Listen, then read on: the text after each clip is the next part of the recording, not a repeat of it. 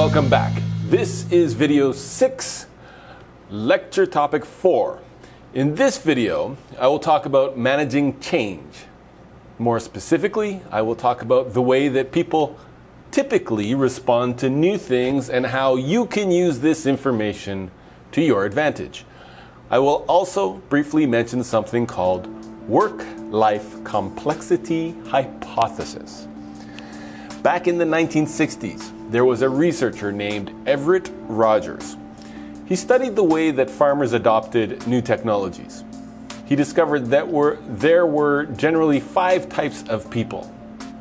The theory that he made for this is called diffusion of innovation. Basically, it is a theory about how new things spread throughout society. Here's a diagram of the theory of diffusion of innovation. On the left side are innovators.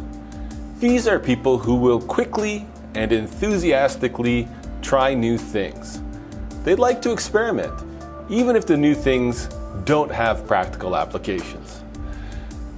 Next, there are the early adopters. These are people with good reputations who can influence others. They are willing to try something new if it makes sense. They don't need a lot of evidence.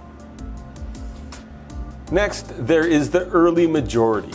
These people are willing to try something new if they see evidence from early adopters that the new thing is working. Next, there is the late majority. These people prefer to wait until they see that the majority of people have tried something and it has worked. Last, on the far right, are the laggards. These people are traditional and conservative. They are resistant to change and may require some pressure through regulations to change, for example. This research describes a situation where people can voluntarily choose whether or not to adopt something new.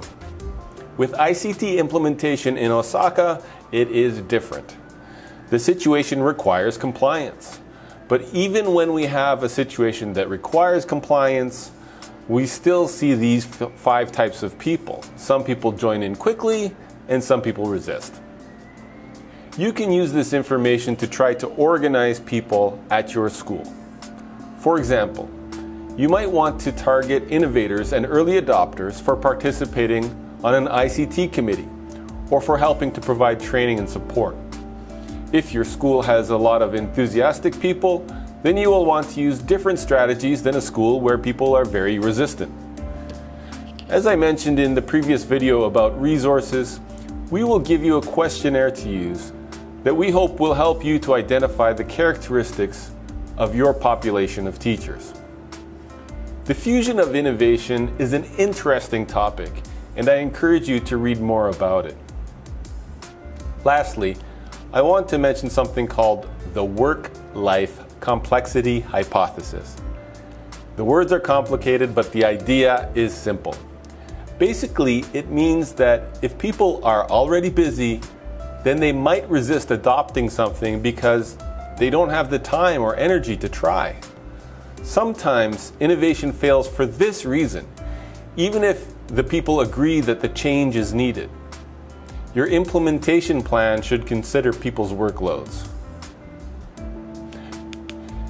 Please join me in video 7, where I will discuss everyone's favorite topic, school policies and procedures related to ICT. It's going to be very exciting.